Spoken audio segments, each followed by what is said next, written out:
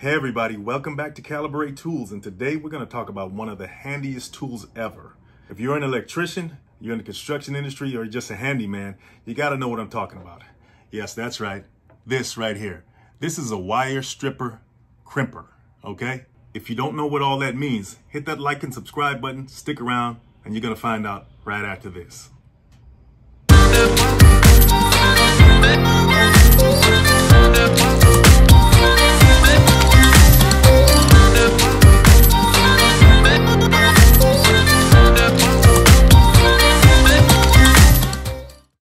This age of wireless devices and wireless systems, you still need wires.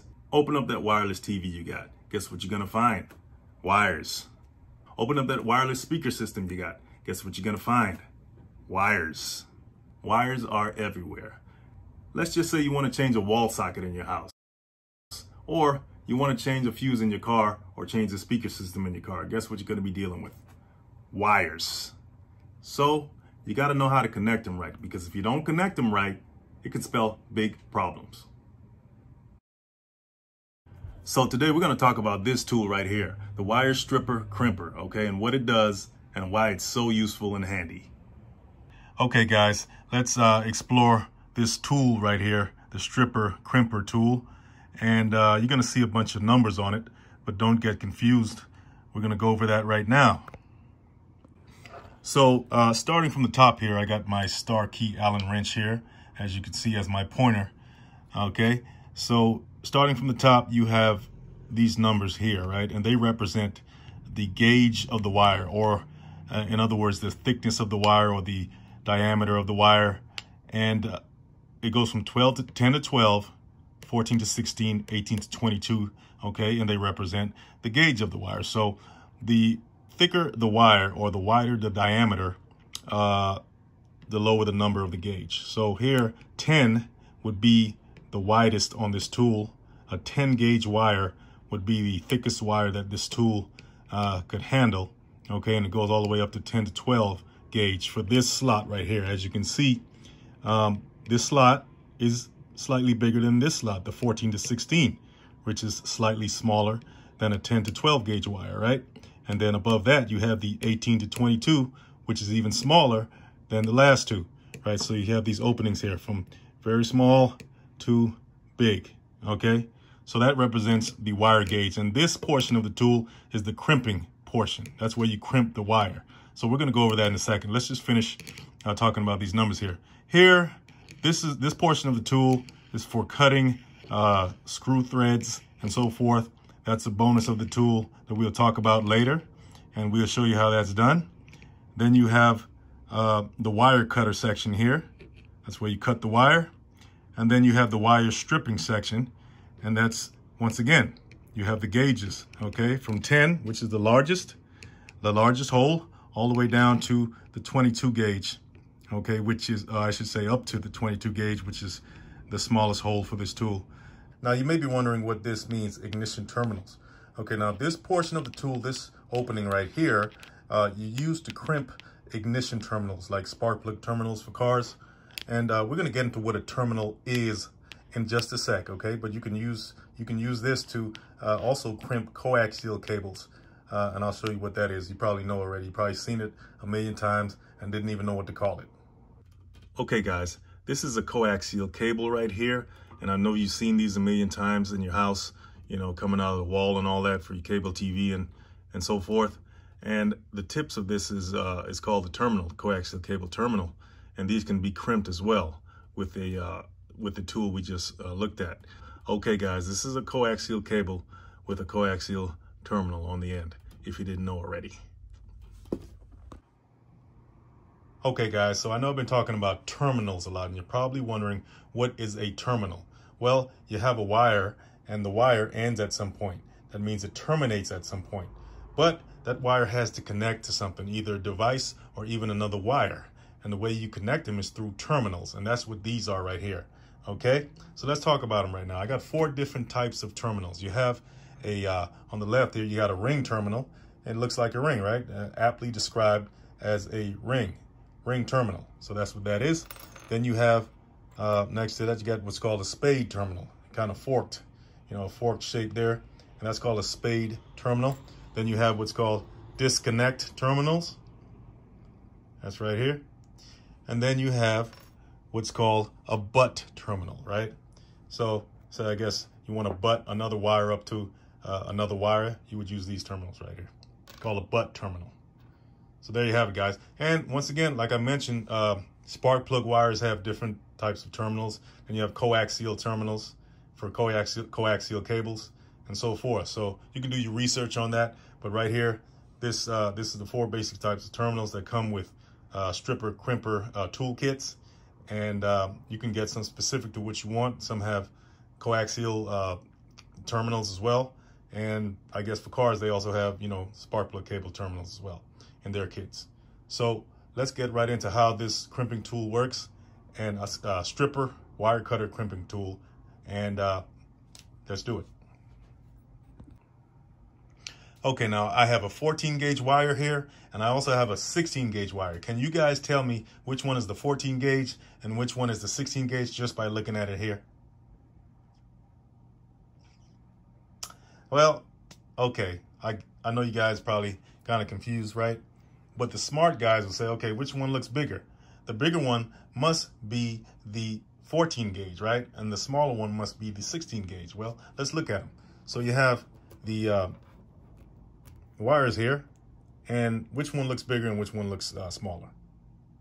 Thickness wise, diameter wise. Matter of fact, let me see if I can get the end of it here, of each one. And which one looks bigger, which one looks smaller. Well, to me, the one on the right looks bigger, right? So that must be the 14 gauge. And this one on the left here must be the 16 gauge, okay? Okay, so we're gonna use the 16 gauge wire here to demonstrate how the stripper crimping tool works, right? So first we want to uh, cut a piece of this wire off because we're not going to use this whole thing, right? So perfect. We're going to demonstrate how the how you can cut the wire with the tool. So that's pretty straightforward. What you do is you take the wire and you say, okay, I want to uh, use this portion or this much of this wire here. And you put it in the cutter section and simply snip it off. There you go. So now that we have our, you know, piece of wire that we're going to use, the next thing we want to do is strip it, right? And we learned earlier on that this is the stripping section of, of the tool, right?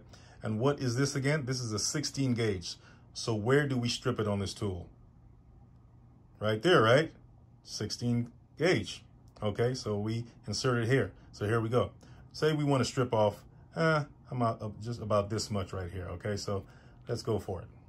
So we insert it in the 16 gauge section like that.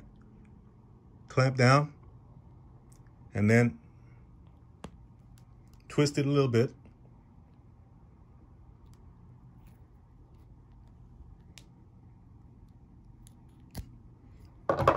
There you go.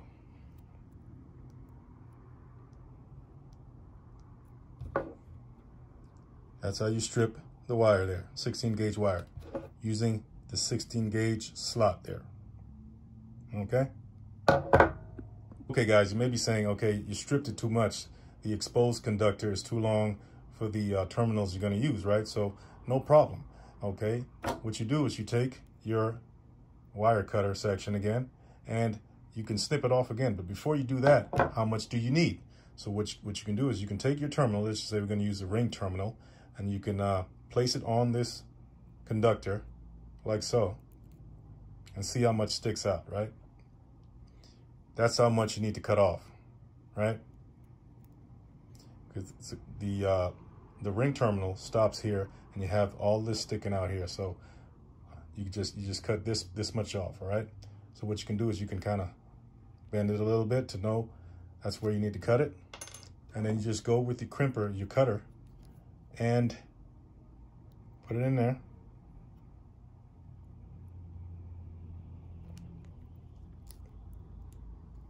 There you go. Man. Then what you do is you twist it up again.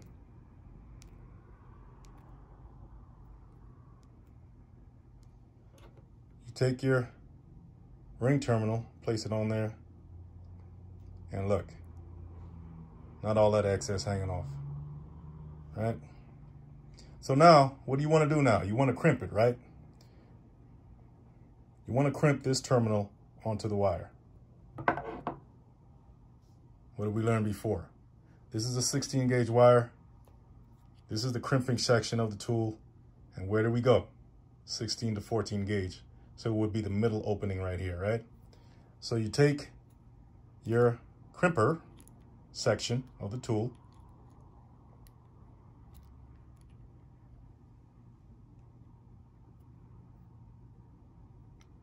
and you put it in there and you squeeze.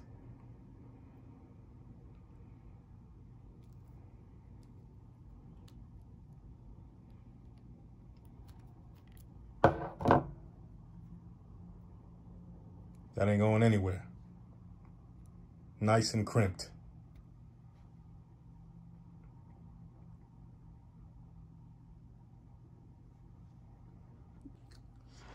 Okay, guys, I want to show you guys something very important here before you start crimping, crimping your lives away. All right. So, um, what I did was I took the uh, rubber portion or the insulation off the terminal to expose the bare terminal. So this is one with the insulation and I took it off just for illustration purposes to show you what's underneath that rubber part. So you have a bare terminal here, right? With no insulation covering.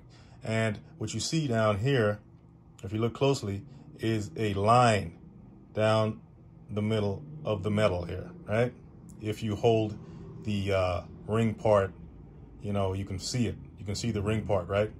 But if you if you uh, put it at this profile, you won't be able to see that split. So this is very important here, all right? So you have the split down the middle, right? And if I if I turn it this way, you, can kind of see the split in the metal there. Do you see it? Okay, so just know that it's there, right?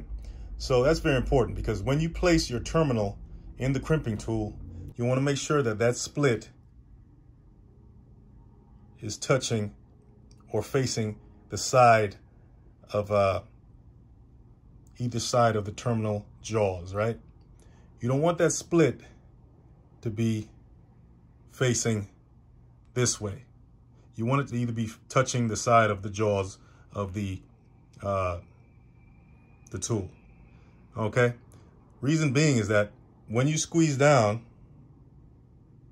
for instance, I'll illustrate it here. Can you see the split? Let me see if I can push it out a little bit more. So you see that the split is touching the uh, upper jaw of the tool. So when you squeeze it, you see that the split is touching the upper jaw of the of the tool, right? So when you squeeze or crimp down on the wire,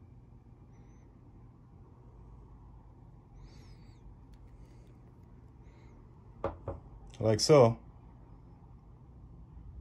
the split, you know, okay, in theory, that split should uh, provide a greater grip on the wire itself, right? So you want to make sure that that uh, split is e touching either jaw of the uh, of the tool. Okay, guys, we're finally going to talk about this area right here, this section of the tool right here, and it's the uh, section where you can cut bolts and rethread them, okay? And as you can see, you have the numbers here that represent the different size bolts that are out there, okay? So let's get right to it. I have with me today some uh, six 30 second uh, machine screws, and we have some eight 30 seconds uh, machine screws, okay? So let's see how this works with the tool. Okay, so we have a 6 30 second machine screw on the left and we have a 8 30 second machine screw on the right. So take your pick. We can use either one to uh, illustrate how this section of the tool works. All right. So we're going to use a 6 30 second. So let's say, for instance, that you need to use a machine screw and you don't have the right length screw for your project, right?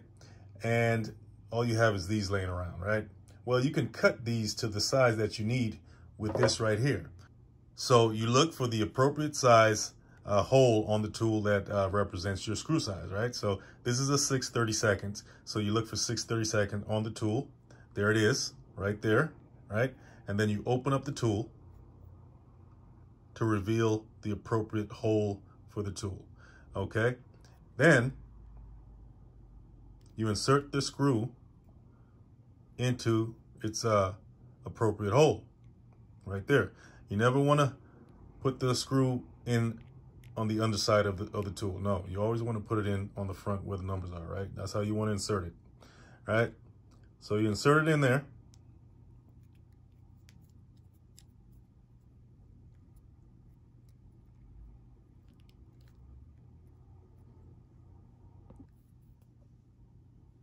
So once you insert it in the hole, right, you screw it in, then you just simply squeeze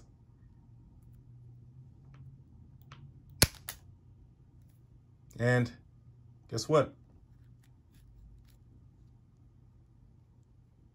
Luckily, it's letting me take it out. Sometimes you're gonna need a screwdriver to take it out. So as you can see, we just cut down this 632nd screw and we rethreaded it as well on the way out. Okay, so we just cut down this 632nd screw. Here is another 632nd screw, and let's put it side by side to see the length difference, okay? As you can see, the one on the right is uh, slightly taller than the one on the left that we just cut, okay? And uh, so what you do is you just cut it to size, you know, with this right here for your project. You can cut uh, screws down to size with this, and uh, they have the different sizes for you to do that right? And then once you cut it down, you know, you can rethread it. Once you've cut your screw, you, you can stick it back in there and rethread it.